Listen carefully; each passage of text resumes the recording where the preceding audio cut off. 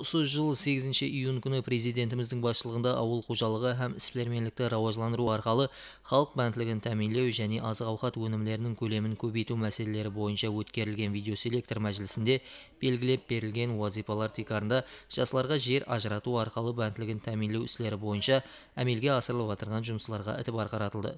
Қалынкөл районы халқының елу жетіде бір процентін отыз жасқа шекемгі жастар құрайды.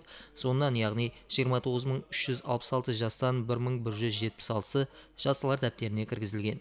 Бұл жастардың көпшілігінің ауылдық жерлерде жасайтұғылығы есапқа алынып өзбекстан республикасы министрлер кабинетінің 2021 жыл 2 февраль күнгі ауыл қожалығы тарауында жастардың бәнтілігін тәминлеу оларды қаржылай қолдап қуатлау һәм ауылдық жерлерде жаңа жұмыс орынларын жарату ләжлары хақындағы мәжіліс баянламасына тикар районда жастар дәптеріне кіргізілген 509 жасқа 225 гектар яғни 0,5 гектардан жер ажыратылған. Бұл жұмыстардың барысыменен жақыннан танысу үшін райондағы жаңақала ауыл бұқаралар жиын аймағындағы кенжебек фермер қожалығы есабынан ажыратылған жастар жұмысларыменен танысқанымызда егілген егінлер көзді қуандыратуын дәрежеде өсіп рауажланбақта фермер қожалығы аймақта жасаушы үш жасқа жер ажыратып егіс істеріне жәрдем берген.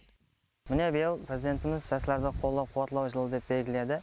Һәм де міне мен қатары үш жасқа жер ажыратып берді елу сотықтан міне сол елу берген жеріне бәһәрде көптеген палыз өнімдерін ектік ешір ектік қауын помидор қияр һәм басқа көптеген өнімдерді ектік осы еккен зұратымыздың минетін құда қалесе күзде мөл зұрат аламыз деген ниеттеміз.